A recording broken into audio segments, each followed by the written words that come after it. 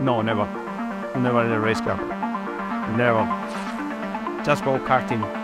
What's the fastest thing that you Today I did one of the things where we spoke about yesterday, like overdoing things to find out where the grip is. When it's like these conditions where they change all the times, it's quite nice to know where the grip is before you actually need it. So when you get out of the pit the first corner, the brake, brake hard, or you steer quite fast at the steering wheel to feel how much grip there is. So sometimes if you overdo things, you find out where the limit is, uh, which can help you to be on the limit all the time.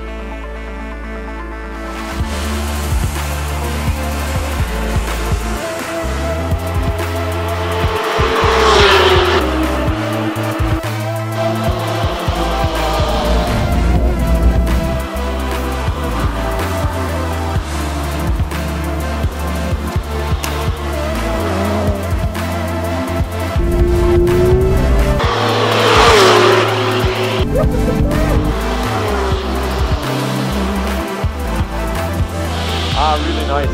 It's it's impressive how you can keep keep the, the, the car in balance.